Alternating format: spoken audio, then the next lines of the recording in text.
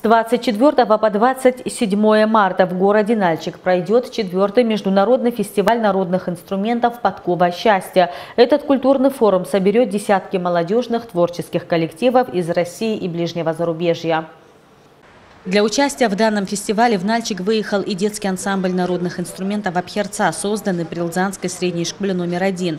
Художественный руководитель коллектива, заслуженный артист Республики Абхазия Даур Парулова выразил надежду на то, что ансамбль выступит достойно, а его участники смогут донести как до членов жюри, так и до зрителей частицу культуры абхазского народа. Он также выразил благодарность всем, кто оказал помощь в организации данной поездки. Мы со своей стороны желаем ансамблю достойно представить нашу республику.